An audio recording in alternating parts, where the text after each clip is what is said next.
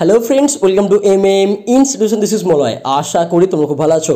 তো এখনকার টপিক হচ্ছে তোমাদের সার্ভার প্রবলেম সার্ভার প্রবলেম নিয়ে আজকে ডিসকাস করব। এর সাথে মোবাইল রেজিস্ট্রেশন বা যে রেজিস্টার মোবাইল নাম্বার বা অল্টারনেটিভ নাম্বার কী করলে কী হবে, এই নিয়েও কথা বলব।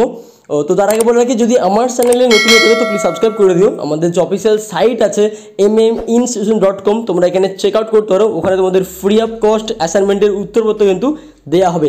আগের বছরও দেওয়া হয়েছিল এবছরও দেওয়া হবে। তাই অবশ্যই ডেইলি ভিজিট করো, এখন থেকেই ডেইলি চেক করো। আর আগের বছরের অ্যাসাইনমেন্টের উত্তরপত্র কোশ্চেন ব্যাংকের অ্যান্সার পরীক্ষার অ্যান্সার সমস্ত আপলোড করে দিয়েছে, চাইলে একবার চেক আউট করতে পারো।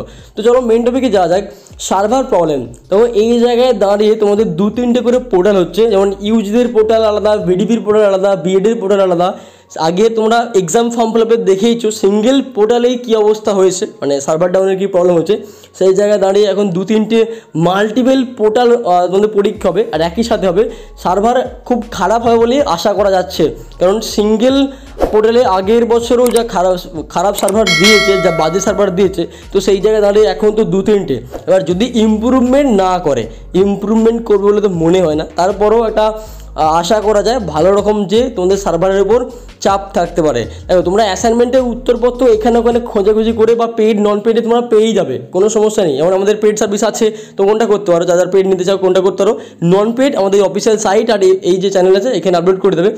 তোমরা উত্তরপত্র তো এখান থেকে ওখান থেকে পেয়ে যাবে। কিন্তু সার্ভার যদি ডাউন হয়ে যায় পরীক্ষা দেওয়ার সময়, তখন কিন্তু মুশকিলই পড়ে যাবে। আগের বার এরকম আছে তারা সার্ভার ইউজ সার্ভারের জন্য নবার পজ ইউজ করেছে, আর পরীক্ষা কমপ্লিট করতে পারে না যে নবার যে পজ কাউন্টিং থাকে, সেই নবার পজ কাউন্টিং ইউজ হয়ে যাওয়াতে অটোমেটিক সাবমিট হয়ে গেছে।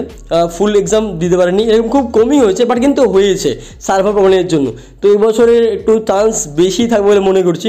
তাই আমরা দ্যাট টাইম আমি লাইভ করি হোক বা ভিডিও দিয়ে হোক, অবশ্যই আমরা আপডেট দেবো তোমাদের জন্য কখন কোন সার্ভার ভালো হচ্ছে, কখন পরীক্ষা দিলে ভালো হবে। প্রত্যেকটা মুহূর্তে আমরা আপডেট দেবো।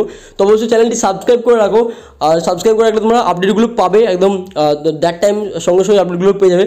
তো অবশ্যই সাবস্ক্রাইব করে রাখুন কারণ এই জায়গায় দাঁড়িয়ে তোমাদের উত্তরপত্র থেকে বেশি প্রবলেম শুরু হবে তোমাদের সার্ভার ঠিক আছে? এই গেল সার্ভার এবার আছে রেজিস্ট্রেশন মোবাইল নাম্বার বা অল্টারনেটিভ নাম্বার আমি একটা অ্যাডভাইস দেবো এবারের পরীক্ষাটা সেম ডিভাইসেই দাও সেই সেম নাম্বারই দাও। হয় অল্টারনেটিভ নাম্বার যে ডিভাইস দেবে সেই ডিভাইসই দাও। তাই ডিভাইস চেঞ্জ করো না, আর নাম্বারও চেঞ্জ করো না।